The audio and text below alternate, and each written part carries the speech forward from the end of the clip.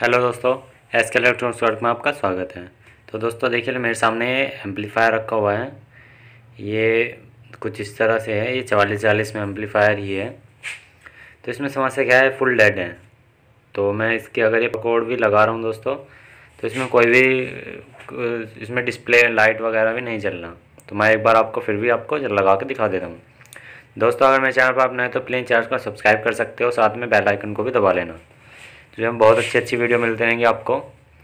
तो मैं आपको एक बार यहाँ पे ऑन करके दिखा देता हूँ। तो मैंने दोनों तार लगाए इसमें प्लग काट रखा है। तो वहाँ पे स्पार्क हो रहा है, पर यहाँ पे मुझे कुछ भी रेस्पॉन्स नहीं आ रहा। मैंने चटकनी भी ऑन की हुई है, आप देख सकते हैं। तो अंदर एक बार बोर्ड में देख सकते हैं, थोड़ी स्पार्किंग नज़र आ रही होगी आपको रेड वाले वायर में। तो यहाँ पर स्पार्क भी हो रहा है। यानी कि वहाँ तक भी ट्रांसफार्मर तक करंट जा रहा है। हमारा कहने का मतलब यही है। क्योंकि स्पार्किंग जब होती है, जब कोई अंदर उसमें कुछ काम हो, चल रहा हो, अगर वहाँ कहीं से वायर ब्रेक हो तो स्पार्किंग नहीं होगी। तो उसमें स्पार्किंग हो रही है तो हम इसको खोल के देखेंगे कि समस्या क्या है। तो दोस्तों, जब भी ऐसी समस्या है फुल डेड की, सबसे पहले तो मैन लीड चेक कर लो, पर इसमें मैन लीड का चेक करने का कोई मतलब ही नहीं है। और फिर भी हम मैन लीड आपको चेक करके दिखा देंगे। सबसे पहले खोल लेंगे, इसको मैंने खोल दिया था पेज खोल दिया था, आपका टाइम वेस्ट नहीं करूँगा इस वीडियो में मैं। तो मैंने इसके पेज खोल रखे हैं, दोस्तों। वीडियो को लास्ट तक देखना, बहुत अच्छे समझ में आने वाली है। और इसको ठीक भी करके दिखाएँगे। यहाँ आया है तो ठीक ही होके जाएगा। तो मीटर को लें, मीटर कंटिन्यूटी मोड पे लगा लें। सॉरी दोस्तों, कल मेरा मीटर ये एक लड़के ने ख़राब कर दिया यहीं पे, दुकान पे थोड़ा वो काम सिखा रहा था मैं उसको। तो उसने एक गलत तरीके से लाया, कहीं कहीं पे रीडिंग थोड़ी गलत दिखा रहा है। पर फिर भी ये काम कर रहा है, मैं कल न्यू ले आऊँगा। तो ये देख लीजिए, पहले वायर पर हम चेक करते हैं जहाँ इसकी लगी हुई है। तो वहाँ तक जा रहा है, यानी कि ये वाली वायर भी ठीक है हमारी। रेड वाली वायर चेक करते हैं, वहाँ तक भी कंटिन्यूटी आती है नहीं। तो यहाँ पे भी कंटिन्यूटी आई इसे भी हटा देंगे, ये भी रेड वाली वायर भी ठीक है। तो भाई ये दोनों वायर ठीक है, मैंने मैनली ओके है। तो हमें चेक करना है ट्रांसफार्मर ट्रांसफार्मर तक हमारी वोल्टेज जा रही है अंदर तक, पर लेकिन हमारे आउटपुट नहीं दे रहा। तो सबसे पहले हम इस बोर्ड को खोल लेंगे। हमने बोर्ड खोल लिया, और इन दोनों जो नीले वाले वायर हैं आउटपुट वाले, इन पे वोल्टेज चेक करेंगे कि आउटपुट सही दे रहा है या नहीं दे रहा। हम मल्टीमीटर को एसी वोल्ट पे सेट करेंगे। पहले हम इसमें पावर दे देंगे मतलब एसी में, बिजली में इसको लगा देंगे। और फिर मल्टीमीटर को एसी वोल्ट पे सेट करेंगे। इसे 200 वोल्ट पे सेट कर लेना हमें, क्योंकि छोटा करंट हम चेक कर रहे हैं। तो हमने 200 वोल्ट पे सेट किया। ये 200 वोल्ट पे सेट किया मीटर को एसी पे। उसको एक तरफ़ रख देंगे। दोस्तों, थोड़ी समस्या आ रही है मीटर में मेरे। तो मैं इसको लगा के देख रहा हूँ ज़रा। यहाँ पे देख लिए कोई भी हमें रीडिंग शो नहीं हो रही। तो यानी कि हमें कोई यहाँ पे वोल्टेज नहीं मिल रही। फिर भी हम ये हमारा एम्पलीफायर ऑन है, फिर हमें यहाँ पे कोई भी रीडिंग नहीं, नीले वाले वायर हटा देंगे यहाँ से। तो इन वाले वायर को हटाना होगा आयरन से हमें। तो दोनों वायर हमने हटा दिए। और इन पर अब चेक करेंगे, थोड़ा बहुत करंट आ रहा है या नहीं आ रहा। तो दोस्तों देख लीजिए। तो यहाँ पे कुछ वोल्टेज दिखा रहा है। थोड़ा मीटर दिक्कत हो सकता है, इसलिए भी, पर यहाँ पे मैं एक बार टच करके देखता हूँ। तो टच करने में हमें कोई स्पार्किंग नज़र नहीं आ रही, क्योंकि ढाई एम्पेयर का ट्रांसफार्मर है कुछ तो स्पार्क करता तो यहाँ पे कोई भी स्पार्किंग नहीं है।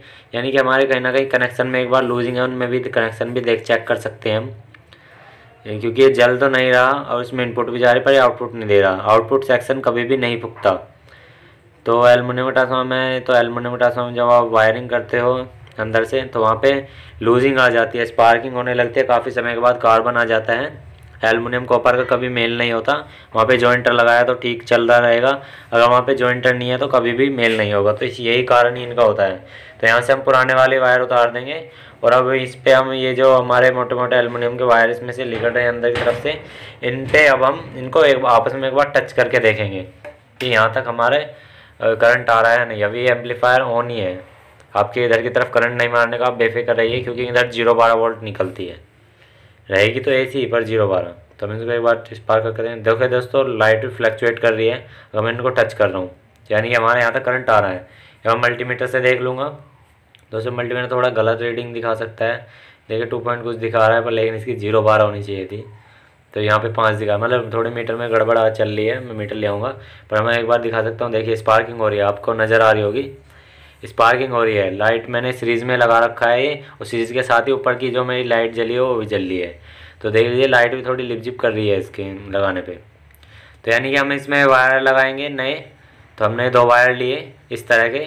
इनमें दोनों इसमें वायर लगाएँगे और टेप लगाएँगे, फिर इसके वोल्टेज चेक करते हैं। और फिर हम मैन कैपिस्टर पे वोल्टेज चेक करेंगे कि कितने आ रहे हैं।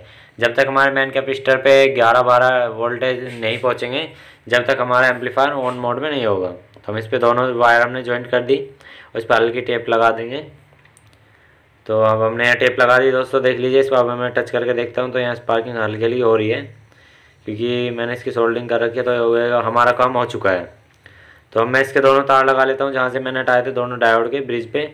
तो दोस्तों मैंने वायर लगा दिए अब हम इसकी एसी वोल्टेज पे इसको, वो डीसी वोल्टेज पे मीटर को सेट करके, बीस बीस वोल्ट डीसी पे हम इसकी एक बार बैंड कैपिस्टर पे वोल्टेज चेक करेंगे कि कितनी है। पहले तो माई डायोड तक नहीं आए तो कैपिस्टर तक जब पहुँचेगी। देखिए, दस पॉइंट पैंसठ आ रही है।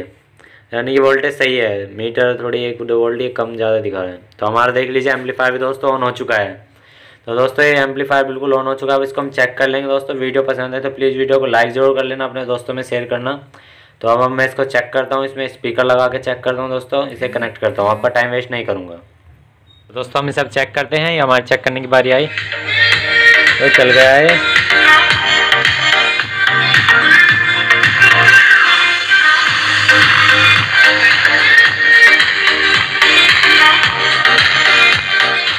हमारा एम्पलीफायर रेडी है।